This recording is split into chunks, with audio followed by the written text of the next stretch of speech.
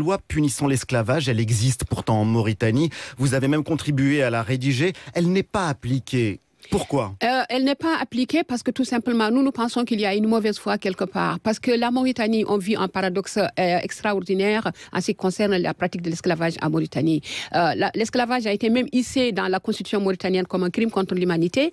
Et malgré cela, il y a eu des, tribunaux spéciaux qui ont été créés, il y a eu des juges qui ont été nommés, il y a eu des dossiers qui sont ficelés par des organisations de défense des droits de l'homme, dont SOS Esclaves, IRA, etc., la MDH. Mais aujourd'hui, rares sont les personnes qui sont condamnées et qui, sont, en tout cas, qui purgent leur peine à l'intérieur de la prison. Même si aujourd'hui, les prisons, certains magistrats arrivent à les condamner, euh, euh, leur, leur, peine n'est pas exécutée. Et donc, euh, ce que nous constatons aujourd'hui aussi, le paradoxe, c'est que l'État, au lieu de poursuivre les esclavagistes, poursuit les anti-esclavagistes. C'est assez fou, effectivement, de l'entendre. Vous